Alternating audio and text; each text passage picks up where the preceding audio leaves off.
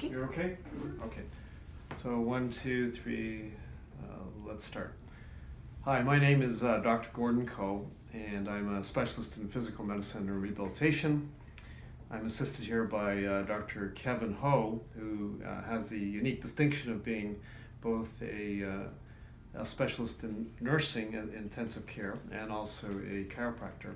We've worked together for um, over 10 years, and I've been using botulinum toxins for treating uh, chronic pain for 20 years.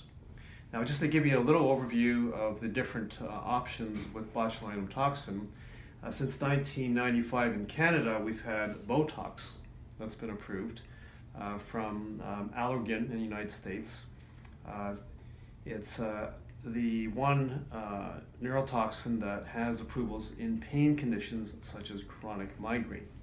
But all three of the uh, botulinum toxins are approved for cervical dystonia, of which 90% of presenting patients will have generalized pain.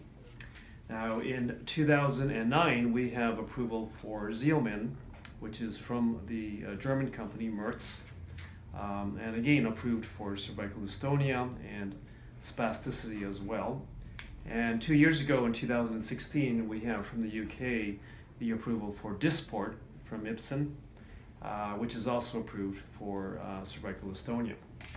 So, uh, with our uh, patient um, uh, who um, we've written, published up- upon, she's been getting um, botulinum toxins for well over 10 years.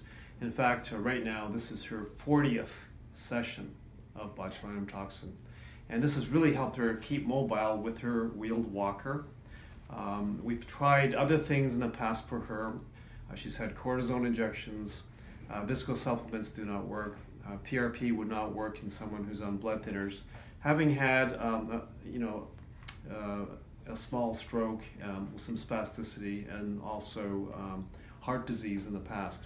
In fact, she is not a candidate for having a total knee replacement because of her um, frail health.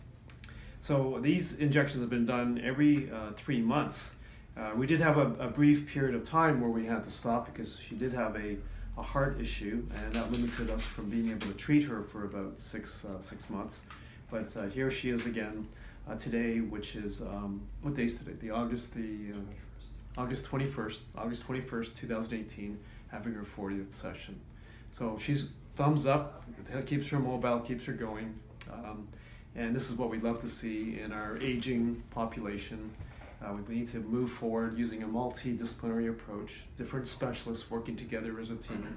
And importantly, um, also making sure people are going from synthetic foods to more plant based foods. Diet is a very important part of the whole process.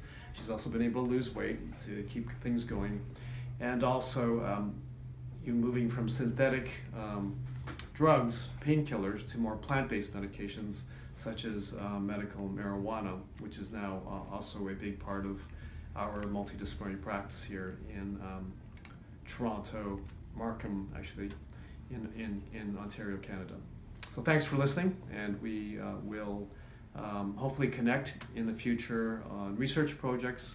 Uh, we do have um, an associate called the Canadian Association of Orthopedic Medicine, which I'm president of this year, and we will certainly invite you physicians to come uh, join us in future meetings. CAOM.ca is the name of the organization where we teach doctors on doing these type of injections to help our patients um, not only um, control their pain, but improve in function and quality of life. Thanks for listening.